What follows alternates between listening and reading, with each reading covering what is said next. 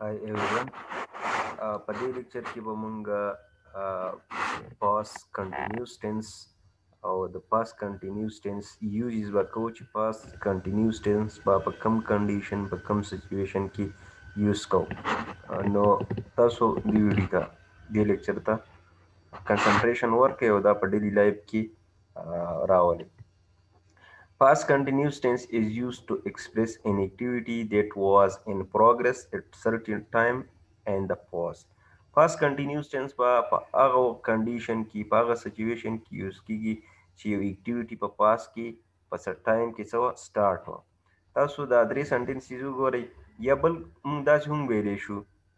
which is the the the time is specified لکه دا ټایم چې کوم دی زمونږ سره سپیسیفایډ هم کیدی شي لکه مطلب دا فرست او سیکنډ سنټنسز تاسو ته ما درکړي او ان سپیسیفایډ هم کیدی شي چې هغه سپیسیفایډ نه وي سم ټایمز سم ټایم از ناټ سپیسیفایډ صحیح شو سی کې چې کوم دی اوکې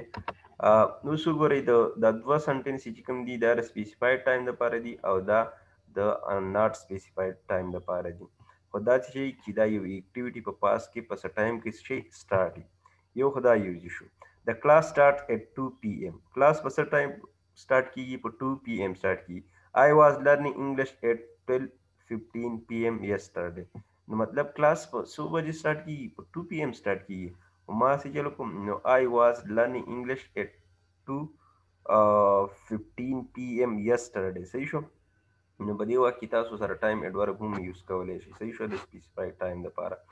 نو دې کې موږ څه وکړو په دې کې موږ څه دا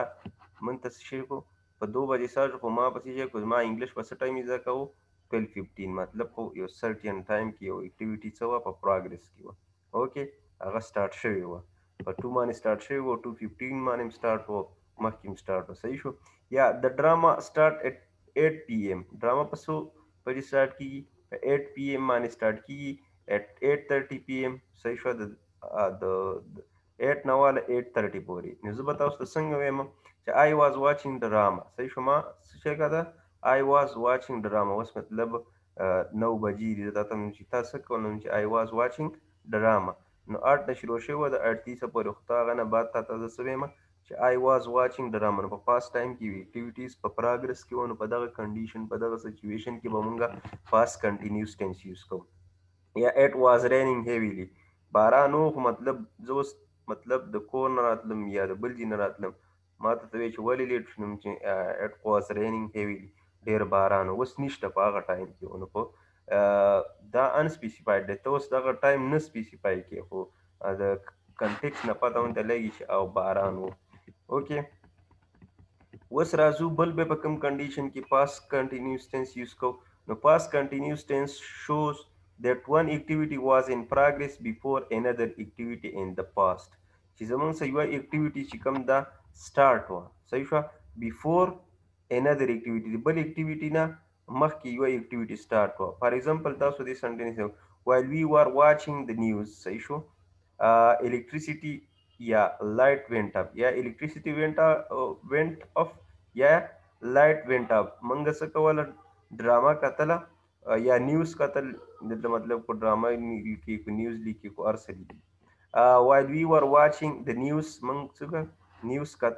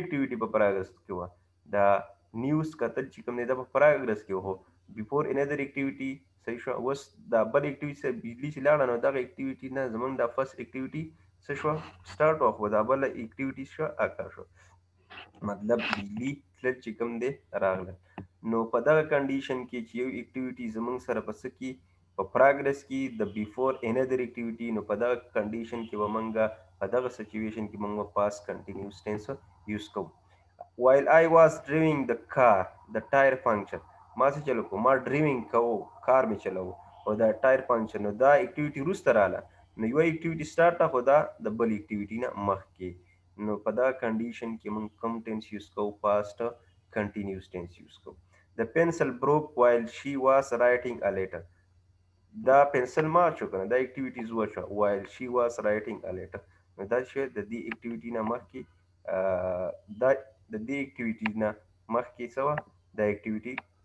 سټارټ وه نو په دا کنډیشن کې موږ څه یوز کوو پاس کنټینیوس ټینس یوز کوو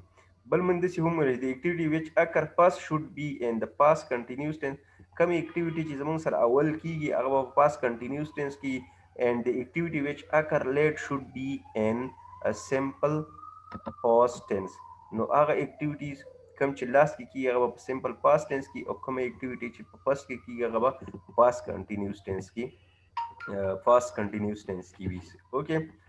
نو دا دوه یوز شو دریم یوز دا دی چې موږ به دا په کوم کنډیشن کې یوز کوو Past continuous tense is also used to indicate that two activity were in progress in the past simultaneously. صحیح شو at the same time. صحیح شو دوه اکټیویټي به په سیم ټایم کې سټارټ وي سیم اکټیویټیز به سټارټ وي مطلب چې یو کې به هم پاس ټینس راځي په بل کې به هم راځي صحیح شو مطلب د سیم ټایم از دا درې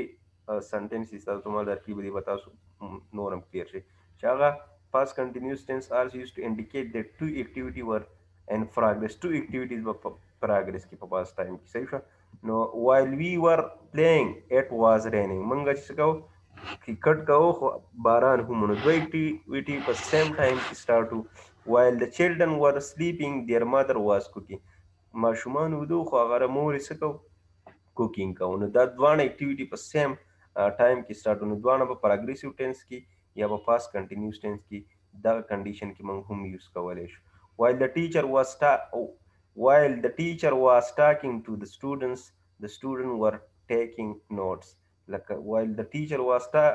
talking to the students نو دا غ talking هم کو خو students سو نوټ کیدو کې شو نوټ کول هم کول اوکې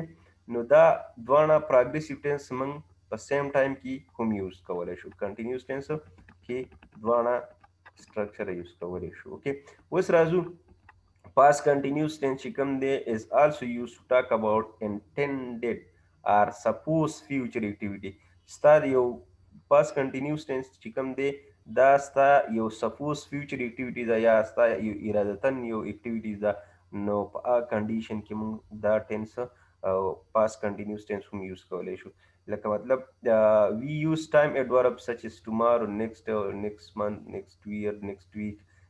دا ټایم ایډور په دې کنډیشن کې موږ هم یوز کولی شو فار ایگزامپل یو آر هیر آی واز کمینګ ټو یور هاوس نیکس آور نو دا سپوز اکټیویټي ده لکه تا یو اراده کړې ده یا تا سپوز کړي چې ته ته خو دلته یې زه ستا کور ته درتلم که نه مطلب دا اکټیویټي شوه نه ده خو تا سپوز کړې ده نو په دې کنډیشن کې موږ هم پاس کنټینیوس ټینس یوز کولی شو وټ علي لیف د کنټري آی واز انوایټینګ ټو مای هاوس ټومارو مطلب علي څه شی تللی د کنټري نه نو زه هغه ما انوایټ کوو د څه لپاره د انوایټ کوو زما خپل کور ته سبا نه دا یو تا سپوز کړی دی تا یو انټینشن کړی صحیح شو نو په دا کنډیشن کې مونږ کوم پاس کنټینیوس ټینس یوز کوو اوس پاس کنټینیوس ټینس از یوز وذ ورب آلویز ایټسټرا ټو ایکسپریس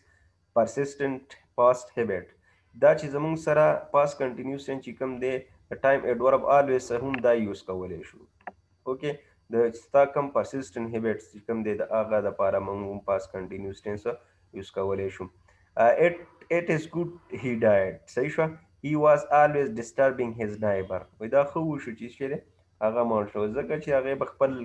نایبر چې کوم دی هغه څه کول ډیسټرب کول نو دا چې په دا پرسیسټنټ هیبټ او لکه ډیلی بیسز باندې باغ کوو نو دا کنډیشن کې یا په هغه سچویشن کې موږ پاس کنټینیوس ټینس یوز کولی شو یا هیس ټرانسفر از ګډ نیوز He was always creating problem for us هغه پرابلم چې کوم دی دا خبره ده چې د کوم مطلب هغه به سیل کو همیشه لپاره پرابلم کریټ کول پیدا کول نو په دې کنډیشن کې چې کله پرسیسټنټ هیبټ شي په دې کنډیشن کې موږ هم پاس کنټینیوس ټینس یوز کوو اوس راځو په دې پر سټرکچر باندې لږ ډسکشن کو او سټرکچر خو به تاسو ته چې ایزي دي کې به دومره مشکل نه خو د دې دغه زه لږ تاسو ته لارج کوم دا سایز او په دې باندې به تاسو لږ پریکټس وکړئ کلیر پریکټس تاسو چې کوم لاست 10 سیس کړي په هغه باندې تاسو پریکټس کړئ نو دا هغه شان سیم پریکټس دی خو دی فرست چې کوم دی یوز دی یوز یا دی نو موږ سره بیا پریکټس سره ایزی دی نو اوس راشو دی پازیټیو سنټنسز نو په دی ټنس کی چی کوم دی زمونږ سره هیلپینګ ورب چی کوم دی د دی هر ټنس هیلپینګ ورب چی تاته یادی د هغی یوزیج یادی نو ته ایزیلی هغه یوز کولای شی په خپل ډیلی لایف کی اوس د پازیټیو سنټنسز سټرکچر سره سبجیکټ لګول دی بیا واز ور و از ور پلس دلته به څه وکی پلس ورب به ولګي او هغه سره به انج اضافه وکړي او بیا به اوبجیکټ ولګي اوکې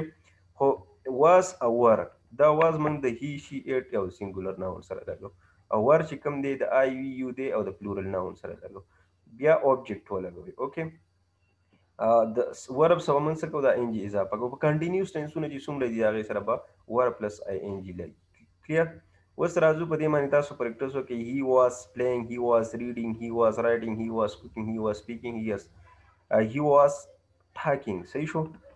بیا هی واز ټیچینګ هی واز کلینینګ هی واز پینټینګ هی واز آسکینګ په دې باندې دا تاسو پریکټیس وکړو بیا چې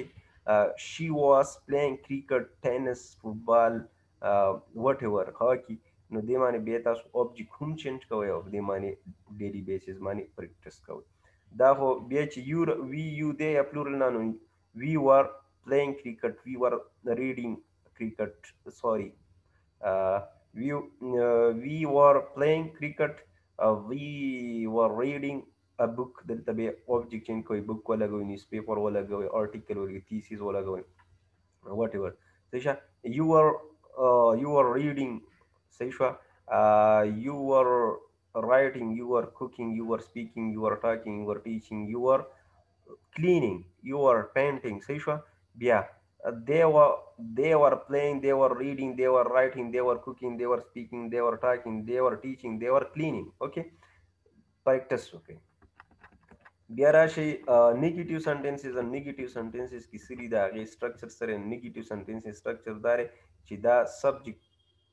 خو زمونږ سره دا سبجیکټ شو واز ور یا دې نه بعد به بیا مونږ څه کو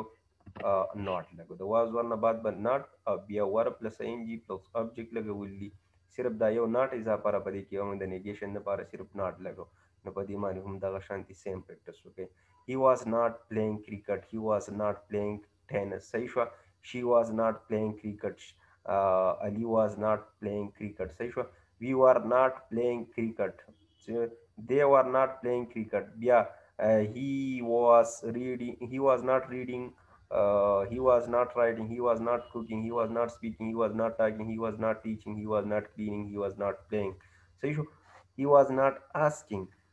نو بیا په هی معنی پریکټس وکړئ شي سنګولر ناون په وی یو دی پلورل ناون ډیلی بیسس پریکټس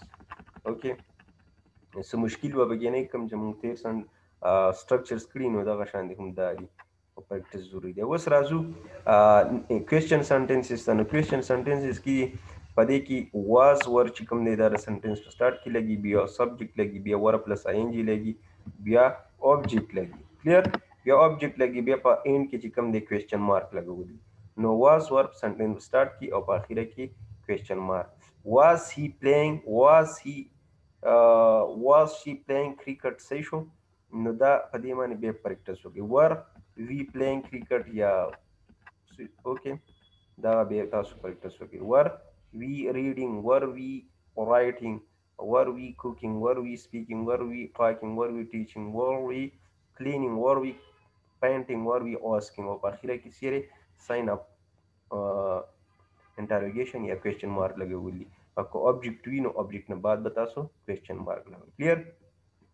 نیگیټیو انټراګیټیو کوېسچن سری نیگیټیو انټراګیټیو کوېسچن داري چې هغه کې به انکار هم یو څه شوی کوېسچن هم کول دي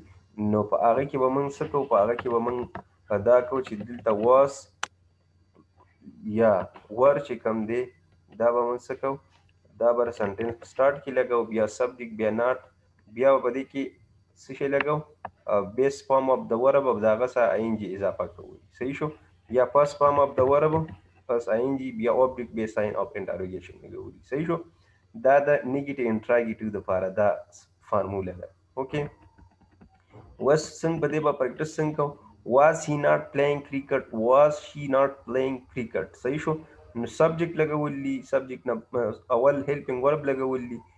بیا سبجیکټ لګول دي بیا ناټ لګول دي بیا ورب لګول دي هغې سره انج اضافه رب بیا اوبجیکټ لګول دي نو په دې باندې بیا پریکټس ور وی ناټ پلینګ کرکټ ور یو ناټ پلینګ کرکټ نو پریکټس په دې معنی دغه شانتي یو 30 ورک تاسو ځان ته نورم انلیست کې په هغه معنی پریکټس وکړئ اوس راځو اخیره ته انفارمیشن کوېسچن سنټنس دي نو ډبلیو ایچ ورډز دی بیا هیلپینګ ورب واس ور دی بیا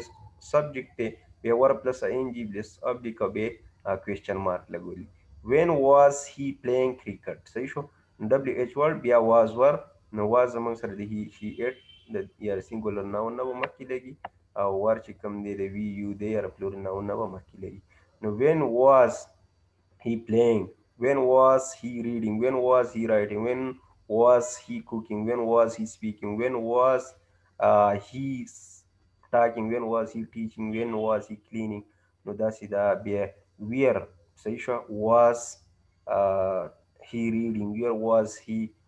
Writing ویر واز هی کوکینګ ویر واز هی سپیکینګ ویر واز هی ټاکینګ ویر ویر واز هی ټیچینګ نو په دې معنی څه کوي په دې معنی په ډیلی بیسس باندې پریکټس کوي او دا په خپل ډیلی روټین کې راولي اوکې